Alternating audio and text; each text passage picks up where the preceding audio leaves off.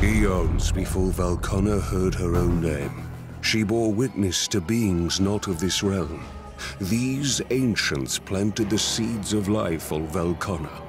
And as that life grew and civilizations formed, the thirst for supremacy blossomed into war.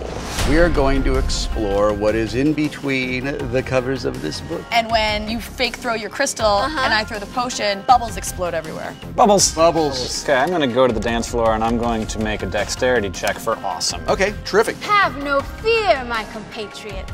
Is that a real word? I don't know. And I unleash the storm's fury. Show me the, the face you make. You get hit for seven points of fire damage. That Stop, will drop, not- and roll! Stop, that drop, will- and roll! Why is he doing this? and we leap over it and charge into Uh, that's, that's not what I'm gonna do. You sink an arrow right into this one guy. Eh.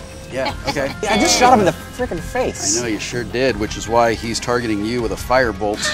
she holds her hands up and the place falls instantly silent. Except for Lem burps. Yeah, I burp again.